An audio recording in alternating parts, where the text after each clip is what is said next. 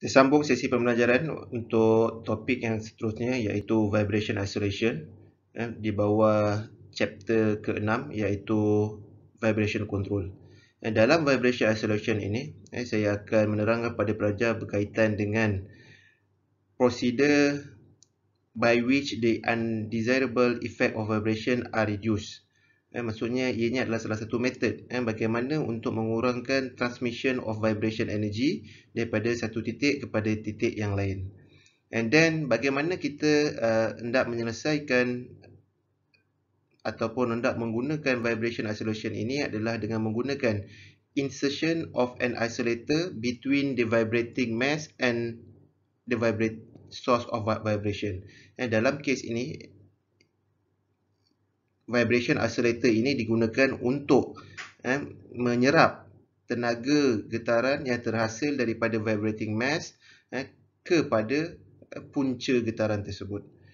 Okey, seterusnya uh, ada dua jenis isolator iaitu satu yang diberi nama sebagai passive isolator dan yang kedua diberi nama sebagai active isolator.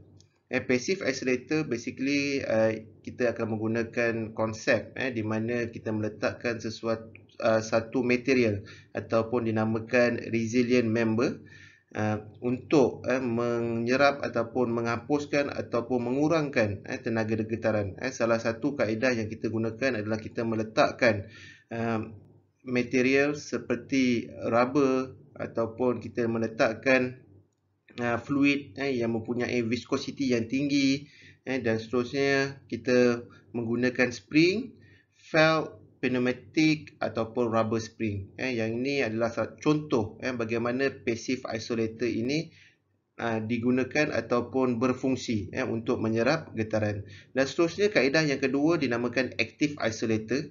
Eh, active isolator basically ianya mem memerlukan actuator eh, actuator uh, dan actuator ini uh, biasanya disambungkan dengan external power required eh, sebab dalam sesuatu getaran bila kita nak menghapuskan uh, tenaga getaran kita perlu menghasilkan tenaga getaran yang sama tapi berlainan direction eh, di mana bila berlainan direction ianya akan uh, menyebabkan uh, getaran yang terhasil itu akan hilang eh. So kalau ikutkan daripada sini active isolation compromise of servo mechanism with sensor, signal processor and actuator. Eh, actuator inilah adalah penggerak.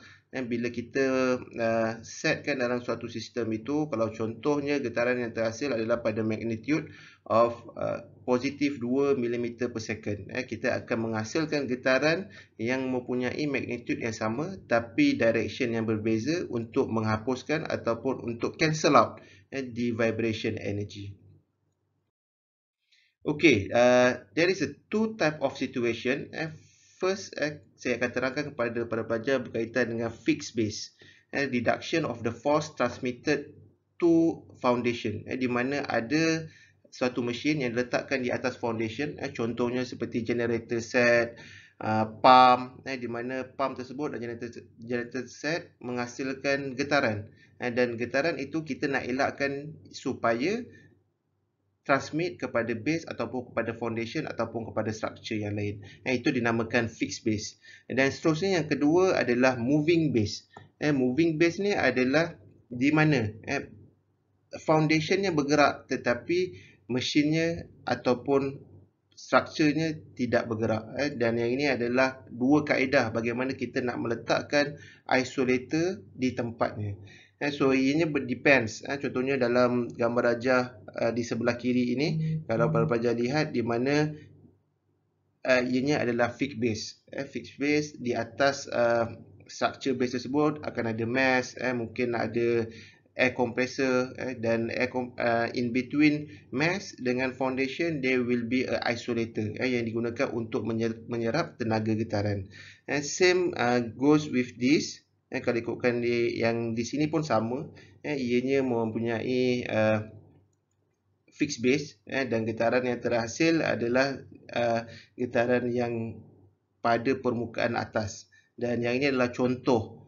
Eh, contoh di mana mesin stamping machine yang kecil eh, kalau pelajar lihat eh, di bawah ini basically ada isolator eh, dan every connector eh, kalau dilihatkan setiap connector ini mempunyai mass tersendiri eh, ianya mempunyai um, nilai berat yang tersendiri dan jadinya setiap struktur tersebut akan mempunyai natural frequency sendiri. Jadinya in between uh, connection eh, daripada satu mass pada mass yang lain, biasanya kita akan introduce di isolator. Dan yang ini adalah contoh, eh, contoh gambar rajah uh, ataupun contoh diagram yang di mana untuk gambar rajah A, ianya menerangkan berkaitan dengan undammed spring mount. Ha, maksudnya ianya tiada damper eh, dan ianya hanya mempunyai spring sahaja. Dan spring basically kita boleh mengawal uh, value of natural frequency berdasarkan kepada value of K iaitu spring stiffness. Dan yang kedua, gambar yang kedua adalah gambar yang ini. Eh, ianya menerangkan berkaitan dengan damping spring mount eh, dia ianya mempunyai damper. Eh, damper yang digunakan untuk uh, dissipate di vibration energy. And then yang terakhir adalah pneumatic rubber mount. Eh, yang ni adalah jenis pneumatic. Ianya di uh, disupply eh, dengan air compress eh, supaya ianya dapat digunakan untuk mengurangkan getaran pada sesuatu structure